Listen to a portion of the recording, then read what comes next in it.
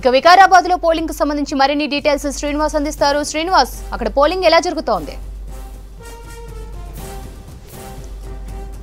నేను చేవెళ్ళ పార్లమెంట్ నియోజకవర్గంలో వికారాబాద్ అసెంబ్లీ కాన్సెన్స్ ఇది. ఒక పోలింగ్ స్టేషన్లో ఉన్న మనకు విజువల్స్లో చూస్తే అసలు ఓటర్లు అయితే కనిపించట్లేదు. పన్నెండున్నర వరకు క్యూలో ఉన్నారు పన్నెండున్నర ఒంటి గంట వరకు. ఒంటి గంట తర్వాత నుంచి అది లంచ్ అవర్ అనుకున్నాం కానీ ఎక్కడ మనకైతే ఓటర్లు అయితే కనిపించట్లేదు. ఏదో కొంతమంది ఒక ఇద్దరు ముగ్గురు మాత్రమే కనిపిస్తూ వస్తున్నారు. సో ఎక్కడ పూర్తిగా లైన్ అయితే కనిపించలే. ఉదయం ఏడు గంటలకు పోలింగ్ స్టార్ట్ అయినప్పుడు మాత్రం మహిళలు తర్వాత అందరూ ఓటర్లు అందరూ కూడా భారీగా కనిపించారు. కానీ ఇప్పుడు టైము దాదాపుగా మూడు అవుతుంది. సో మనకి ఎక్కడ ఓటర్లు అయితే క్యూ లైన్లో కనిపించట్లేదు. ఒక్కొక్కరు వస్తారు. ఒక ఇద్దరు ముగ్గురు అట్లా వచ్చి ఓటేసిపోతున్నారు. ఏమంటే ఎలక్షన్ సిబ్బంది కూడా వీలైనంత తొందరగా వాళ్ళని ఓటు వేయించి పంపిస్తున్నారు. సో మనకు ఇంతకుముందు ఉదయం ఏందో ఉదయం మాత్రం ఏడు గంటల నుంచి పన్నెండున్నర గంటల వరకు భారీ క్యూ లైన్లు ఉన్నాయి. పెద్ద ఎత్తున హడావుడి కనిపించింది. పోలింగ్ కేంద్రాలు అన్ని చోట్ల. నేను చెవెళ్ళ పార్లమెంట్కి వెళ్ళినప్పుడు చెవెళ్ళలో వెళ్ళాను. చెవెళ్ళ అక్కడ ఒక ప్రభుత్వ స్కూల్ నుంచి కూడా లైవ్ ఇచ్చాను. అక్కడ భారీగా మహిళలు కనపడ్డారు అందరు కనపడ్డారు ఓటు క్యూ లైన్లో. ఆ తర్వాత అంతకుముందు రాజేంద్ర నగర్ కూడా బాగానే కనిపించారు. ఆ తర్వాత పరిగి కొంత తగ్గింది. అక్కడ కూడా ఒంటి గంట సమయంలో అసలు పెద్ద ఓటర్లు కనిపించలేదు. సో ఎలక్షన్ కమిషన్ మాత్రం సో ఎక్కువగా పోలింగ్ శాతాన్ని పెంచేందుకు అన్ని ప్రయత్నాలు చేసింది. కానీ కారణం ఏంటంటే కొంతమందిని అడిగితే చాలామంది ఎండ ఉందని చెప్పి రాలేకపోతున్నారు అంటున్నారు. ఎందుకంటే ఆరు గంటల వరకు సమయం ఉంది. ఇంతకుముందేమో ఐదు గంటల వరకు సమయం ఉండే. ఏడు గంటలకు పోలింగ్ స్టార్ట్ అయితే ఐదు గంటలకు క్లోజ్ అయ్యేది. ఒక ఐదు గంటలకు లైన్లో ఎవరైనా ఉంటే వాళ్ళకి అవకాశాలు ఇచ్చేది. సో ఇప్పుడు ఏంటంటే ఆరు గంటలైంది అయింది. అంటే ఆరు గంటల వరకు పెంచారు కాబట్టి ఒక గంట పాటు. ఒకవేళ లంచ్ చేసిన తర్వాత రెండున్నర మూడు గంటలకు నాలుగు గంటలకు అట్లా ఏమన్నా వస్తారేమో చూడాలి. ఒక నాలుగు గంటలకు వస్తే ఆరు గంటల వరకు పోలింగ్కు అంటే ఓటేసేందుకు సమయం ఉంది కాబట్టి ఆ రెండు గంటలలో ఏమన్నా పెరుగుతుందో అని చూడాలి. ఇక నేనున్న ఈ చెవెళ్ళ పార్లమెంటు తర్వాత వికారాబాద్ ఈ ఏరియాలో అయితే దాదాపుగా ఫార్టీ టూ నుంచి ఫార్టీ ఫైవ్ పర్సెంట్ వరకు అయితే ఇంకా అఫీషియల్గా రాలేదు. మధ్యాహ్నం ఒంటి గంట వరకు అయితే చెవెళ్ళ పార్లమెంటు నలభై పాయింట్ మూడు ఎనిమిది శాతం మేర పోలింగ్ శాతం నమోదైంది. సో ఇప్పుడైతే అసలు ఓటర్లు అయితే ఎక్కడ పబ్లిక్ అయితే క్యూ లైన్ కాదు కదా ఒక ఇద్దరు ముగ్గురే మాత్రమే కనిపిస్తున్నారు. సో అది ఎండ ఎక్కువగా కొడుతుంది దానివల్లనే ఓటర్లు రాలేదనేది పోలింగ్ సిబ్బంది చెప్తున్నారు. వీళ్ళంతా కూడా ఖాళీగానే ఉన్నారు ఎందుకంటే ఓటర్లు లేరు. వచ్చేవాళ్ళు ఎవరో ఒకరు ఇద్దరు ముగ్గురు మాత్రమే వచ్చిపోతున్నారు.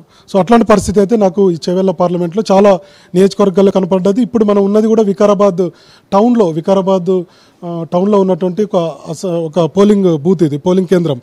ఇక ఒకసారి మొత్తం ఓవరాల్గా మనం చూస్తే ఇప్పటివరకు మరి ఆరు గంటల వరకు ఏమైనా పోలింగ్ పెరిగితే పెరగాలి. గత పార్లమెంట్ ఎన్నికల్లో యాభై రెండు శాతం మాత్రమే పోలింగ్ శాతం నమోదైంది. సో ఇది పెరుగుతుంది అని అను అనుకున్నారు. ఎందుకంటే ఇరవై తొమ్మిది లక్షల ముప్పై ఎనిమిది వేల వరకు మనకు ఓటర్లు ఉన్నారు. కానీ ఇప్పుడు చూస్తే గతంలో లాగానే పోలింగ్ శాతం నమోదవుతుందో అనిపిస్తుంది. ఇందాక గత బులెటిన్లో మనం చెప్పుకున్నప్పుడు దాదాపుగా అరవై శాతం డెబ్బై శాతం మేర పోతుంది కావచ్చు ఈ క్యూ లైన్లో ఉన్నటువంటి ఓటర్లను చూసినప్పుడు అనిపించింది. కానీ ఇప్పుడైతే ఇప్పుడు పన్నెండున్నర ఒంటి గంట నుంచి ఇప్పుడు మూడు అవుతుంది.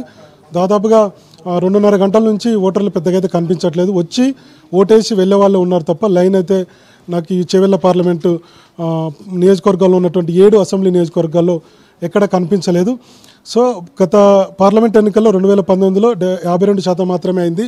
మరి ఇప్పుడు ఏమైనా తగ్గుతుందో చూడాలి. ఇప్పటి వరకు మనకు లెక్కల అందినటువంటి సమాచారం ప్రకారం ఒక నలభై శాతం మూడు గంటల వరకు పోలింగ్ అనుకుంటే ఇరవై తొమ్మిది లక్షల ముప్పై ఎనిమిది వేల ముప్పై ఎనిమిది వేల వరకు ఈ చెవెళ్ళ పార్లమెంటు ఏడు అసెంబ్లీ నియోజకవర్గాలు కలిపి ఓటర్లు ఉన్నారు. ఇరవై ఇరవై తొమ్మిది లక్షల ముప్పై ఎనిమిది వేలు.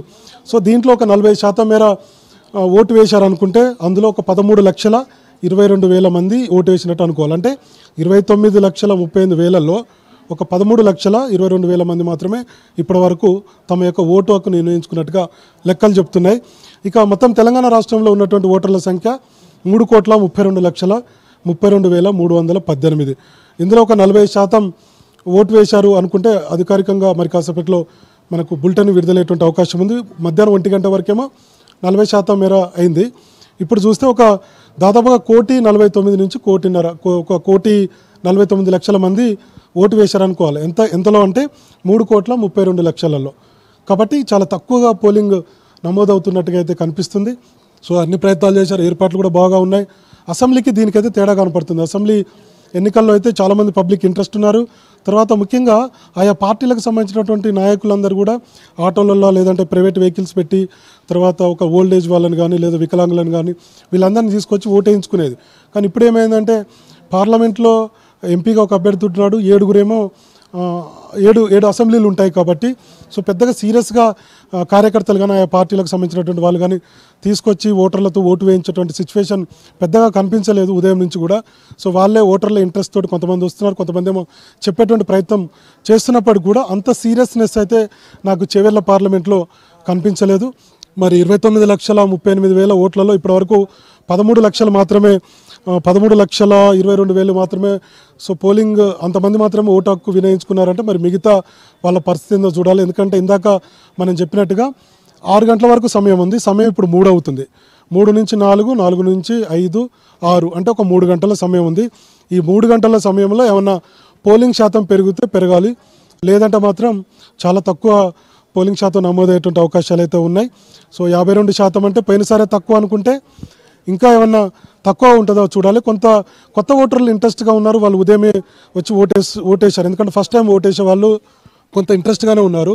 సో మిగతా మహిళలు కూడా కొంత ఎక్కువగానే కనిపించారు. కానీ పురుష ఓటర్లే కొంత తక్కువగా నాకైతే ఈ చెవేళ్ళ పార్లమెంట్లో కనిపించింది. మరి ఏమన్నా సాయంత్రము చల్లబడ్డాక ఏమన్నా నాలుగు గంటలకు ఐదు గంటలకు ఆరు గంటల లోపు కనుక వస్తే ఏమన్నా ఓటింగ్ శాతం పెరిగేటువంటి అవకాశాలు అయితే ఉన్నాయి. ఇది ప్రస్తుతానికి నేనున్నటువంటి చేవెళ్ళ పార్లమెంటు నియోజకవర్గంలోని వికారాబాద్ ఒక పోలింగ్ స్టేషన్లో ఉన్నటువంటి తాజా updates Sravanthi Srinivas thank you